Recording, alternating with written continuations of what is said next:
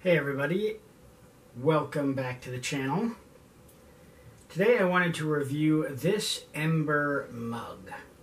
So if you've never seen an Ember mug before, it's designed to keep your coffee or tea or whatever you're drinking uh, warm for an extended period of time. It has an internal battery, so when I take it off of the coaster, it has, I believe, roughly five hours worth of heating time on the mug itself. I'm sure that depends on temperature. And then when you put it back on the coaster, there are these two contact points right here that connect to two contact points on the bottom of the mug. So, and it's round, so any position it will charge. You see it lit up red indicating that it is charging. So I pulled out my iPad here so you guys get a better view of the app itself. But there's an app that accompanies with it on the phone. So this is how I control the mug. It's connected via Bluetooth. Right now it's 115 degrees. I've got it set to go up to 134. It's taking a second to turn on the heater because I just turned it on. Now if I swipe up, you've got pre-programmed temperatures. So 134 for black coffee, 140 for black tea. You can do herbal teas. These are like steeping timers for your teas. Um, there's even some recipes you can click on and get recipes. Then also you can go into the settings and you can see the battery level of the mug. Obviously, I've been using it all morning. You can set the brightness, which I believe is the brightness of the LED, is the brightness on the LED on the mug itself right here.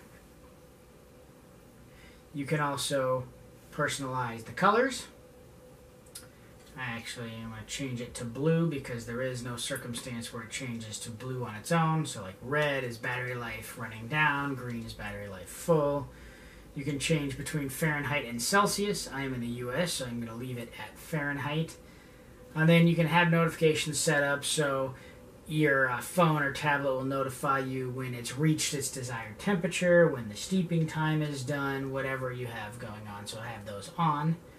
You can see it changed my Ember mug to blue as my desired color. And then yeah, it goes over how to use the mug. There are different ones. I'll have a link in the description to all of them. There's this regular Ember mug. There is the Travel mug and the Travel mug uh, 2. So all those have their own specific, you know, benefits and drawbacks. I like this one because again, I can have it sitting at my desk.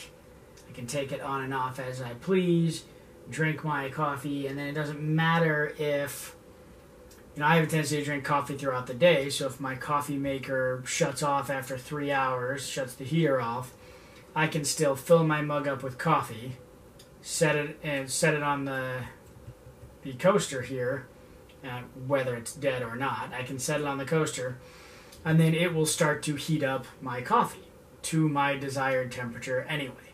Because I don't like cold coffee, I like it to be a specific temperature.